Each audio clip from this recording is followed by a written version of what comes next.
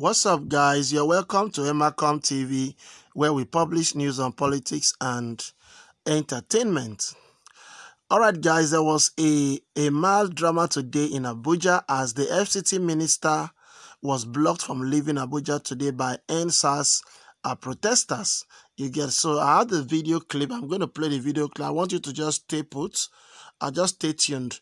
Uh, today, being Sunday, was actually um, a spiritual service for uh, EndSARS Christian youth. You get as the the stage what we call a prayer walk across the various states of the nation. Uh, this is Niger State, and uh, these youth are actually staging a prayer walk, and um, they are praying to God. They have not actually left religion out of this. They have not left out spirituality and um, they are praying to God that God should intervene because the problem of Nigeria today is spiritual in nature. It is beyond what we see in the physical, you know. So these youth are actually praying. They are they are, they are giving out their sacrifice. Many are, already dead. Just recently in Osun State, I think two protesters, EndSARS protesters, actually died when police opened fire you know, on on the protesters, maybe on trying to defend the governor or so. But according to the news we heard, um, they said that it was the police that opened fire on the protester before the thugs actually responded, but we don't know. We are awaiting the outcome of the investigation. But however, today, the, the minister of the FCT, who recently issued a ban against EndSARS protests in Abuja, you know, was blocked today. He was he was totally humiliated. He was humiliated. He was blocked from leaving Abuja today, and by so doing, he misses international flight. So I'm going to play that video now, and then I'll be back. Come on, go this house, go this house. Come on, go back. Presidency, presidency, kill you there. Presidency, kill you there. Presidency, kill all of us. Come on, let Come on, come on, come on, come on. All right, guys. So as you can see, the revolution is on, and the youth are actually um they're angry. The youth are angry, you know. And for over the years, the youth have been shortchanged, and um our future. Just recently, we all saw our Buhari, you know, and got loan from China, and that loan on how to repay it is going to be a very serious problem and you know, China is a world power, and you know that the terms of that loan agreement is was not transparent to Nigeria. Even the House of Assembly um, were not actually briefed on the actual. In fact, they even discovered some clauses in that loan just recently. You all saw when the House of Rep Committee on Ethics and um, on ethics and I think loan also something like that grilled uh, Rotimi Amaechi and Mechi and asked him some questions. That was when it was uh, that clause was, was actually discovered.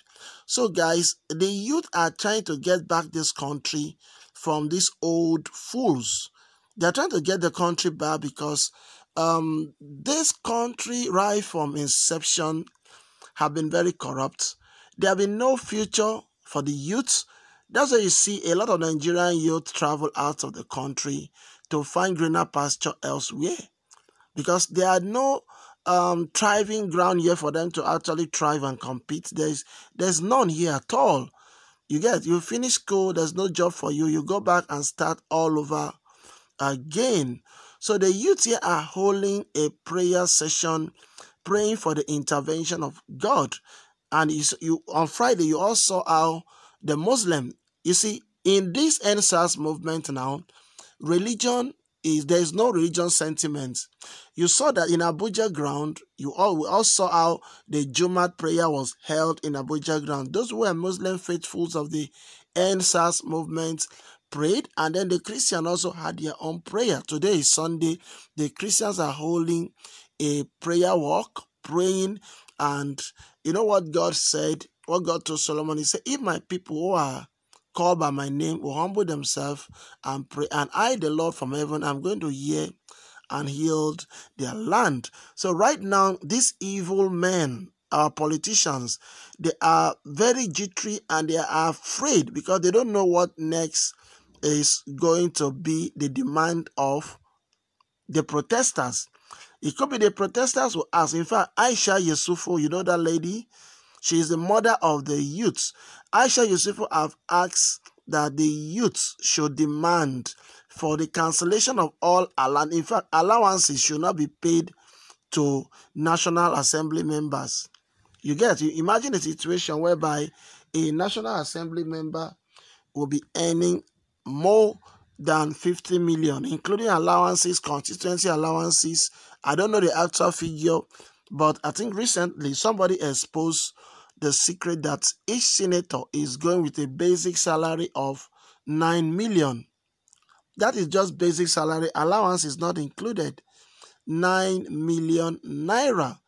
You get just only just to sit and talk rubbish.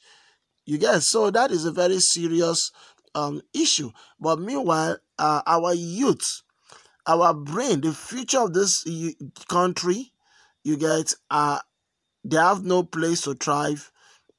Even for Buhari to even pay common COVID 19, I mean, um, COVID 19 palliative, it was very difficult. But guess what? These senators were paid. NCDC came to, in fact, it, it, it was exposed that NCDC, you get, NDDC, I mean not NCDC, NDDC, Niger Delta, you know, um, uh, Niger Delta Development Commission paid the senators, the National Assembly member, each of them, I think they paid, was, that, was it that much? Was it 5, 5 million? For COVID-19 palliative, oh, but meanwhile, the ordinary poor Nigerians were not given any palliative at all. And you need to see what they were given during when they said Lagos state government and some other um, state governors gave up palliative. It was just, it was ridiculous. So, guys, the youth are trying to get back this country back. They're trying to claim it back. And if care is not taken, there have been several threats of the federal government deploying military to end this uh, protest. And if they do, that's going to spell doom and it will bring about the end of Nigeria. You get if care is not taken, these guys will begin to cry for a break. In fact, they'll begin to cry for either restructuring or they might begin to cry that Nigeria they should end Nigeria. And if they do, you know what's going to happen? United Nations is going to wade in and a referendum will be conducted. And guess what is going to happen?